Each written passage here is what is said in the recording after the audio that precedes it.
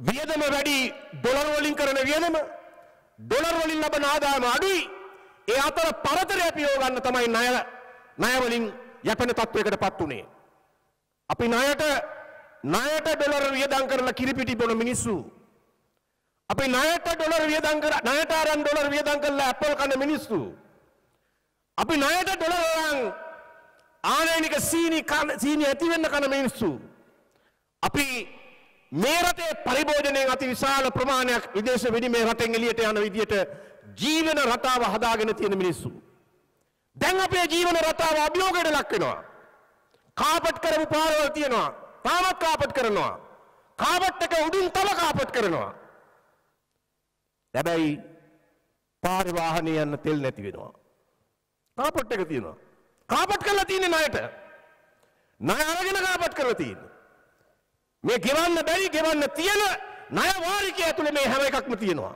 පොලි වාරිකය ඇතුලේ තියෙනවා. දැන් කාපට් පාර තිබ්බට ඒ පාර යන වාහනේට තෙල් ටික නැත්තම් පාර කන්නද? මේ මේ මේකෙන් පේන්නේ මොකද්ද? මේ රට ඇවිල්ලා තියෙන ඉබාගාතේ. මේ ආර්ථික අර්බුදය මුහුණ දෙන්න නියමිත අර්බුදය ගැන කිසිවෙකු කල්පනා තක්සේරුවක් කරලා නැහැ. කොයි වෙලේ හෝ මුහුණට මුහුණ මුණ ගැහෙන සම්මුඛ වෙන මේ අර්බුදය ගැන කිසිම තැකීමක් කරලා නැහැ. එදා වේල රෝල තමයි මේ ඇදගෙන ඇවිල්ලා තියෙන්නේ. නඩත්තු කරන්න බැරි ජීවන රටාවකු ජීවන විලාසිතාවනු නඩත්තු කරමින් නඩත්තු කරන්න පුළුවන් මට්ටමේ ආදායමක් තියෙන රටක් නම් නඩත්තු කරාට කිසි ප්‍රශ්නයක් නැහැ. ණයට අරන් නඩත්තු කරනවා නඩත්තු කරන්න බැරි මට්ටමේ ජීවන රටාවක් සමාජ රටාවක්. ඒ නිසා දැන් තවදුරටත් උකුරට හොරා බෙහෙත් කන්න පුළුවන් තත්ත්වක නෙවෙයි මේ රට තියෙන්නේ. මරණ හතක් මැද පැණි කන්න පුළුවන් තත්ත්වක නෙවෙයි මේ රට තියෙන්නේ.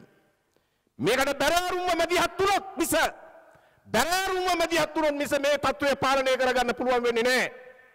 විරුද්ධ පක්ෂය හොට බලනවා ඒගොල්ලන්ට හොඳයි. පෝලිං වැඩි වෙන තරමට විරුද්ධ පක්ෂයට හොඳයි. ආණ්ඩු විරෝධය අවුලුවන්න පුළුවන්. තෙල් නැත්තම් තෙල් දියව් කියලා පාරේ පෙරපාලි එන්න පුළුවන්. ඒ ආතල්ලක ඒගොල්ලන්ට ගන්න පුළුවන්. හැබැයි මේක කාගේවත් දේශපාලන ආතල් ගන්න පුළුවන් වෙලාවක් නෙවෙයි. ආණ්ඩුවක් ආණ්ඩුවක් තියෙනවා මේ තත්ත්වය ගැන බැරෑරුම් සාකච්ඡාවකින් තොරව. පාලකයෝ ඉන්නවා මේ තත්ත්වය ගැන බැරෑරුම් අවධානයකින් තොරව. නැව මුහුද තියෙනවා දවස් තුනක් යනවා LC එක ඕපන් කරගන්න. ආණ්ඩුවක් තියෙනවා දවස් තුනක් ගියාට පස්සේ LC එක කොහොම හරි ඕපන් කරලා දීලා නැවට දඩයකුත් කෙවලා. ප්‍රමාද වාස්තුත් කෙවලා නැව නැව නැව තියෙන තෙල් ටික ගන්න. ආණ්ඩුවක් ඕනේ මුහුදේ තියෙන නැව දිහා බල බල තීරණ ගන්න නෙවෙයි. මේ සමස්ත අර්බුදය දිහා ගැඹුරින් බලන්න. මේ සමස්ත අර්බුදයෙන් ගොඩ එන මාවත හරියට හදන්න.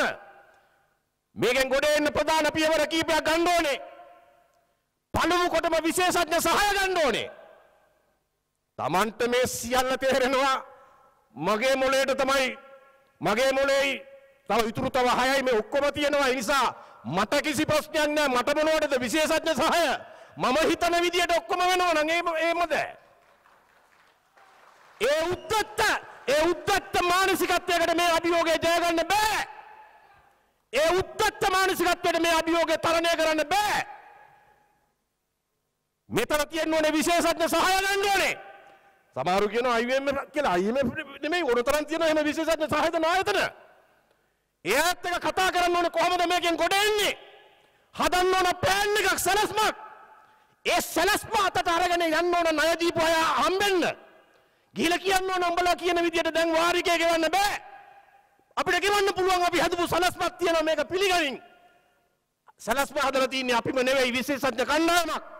ඒ සැලස්මට තිබෙන පිළිගැනීම වැඩි කෝය සාකච්ඡාව කෝය සාකච්ඡාව අපි ඇමති මණ්ඩලය කිව්වා මේ වෙලාවේ චීනය ජපානය ඔය වගේ රටවල් අපිට කාලයක් තිස්සේ උදව් වෙන රටවල් තියෙන ඒවා එයාත් එක්ක අපි මේ ප්‍රශ්න කතා කරලා අපිට මේකෙන් එළියට එන්න තියෙන සැලැස්ම පෙන්වලා දීලා ඒගොල්ලොන්ගෙන් උදව් ගන්න ඕන උදව් ගන්න ඕනේ කොහොම ඊට පස්සේ කැබිනට් පත්‍රිකාවක් ආවා මුදල් ඇමතුමාගෙන් චීන එක කතා කරන්න මහාචාර්ය ජීල් පීරිස් ඇතුළු මහත් ඉන්නවා පස් දෙනෙක් කණ්ඩායමක්. ජපාන එක කතා කරන්න තව මන්ත්‍රීවරු කණ්ඩායමක්. දැන් මේ කැබිනට් උපකමිටු හද හද ඒ- ඒ- ඒ- ඒක නෙවෙයි ඇත්ත සාකච්ඡාව එතකොට. මේ නිකන් කමිටුවක් හදලා ආවොන්න සාකච්ඡාව කරා කියලා කියන්නේ නෙවෙයි මේක මේක බැරෑරුම් මැදිහත් වීමක් නෙල්ලන්නේ.